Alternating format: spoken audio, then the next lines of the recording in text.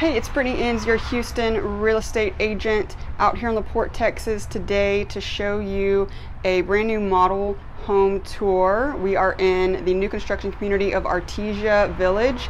The model is the Sweetwater. And as you can see, we're right along Highway 146 here, so the community is really, really good for commuters and those that are looking to live on the southeast side of the city and I'm excited to bring it to you and expose you to this community. So if you're ready, let's go take a look at it.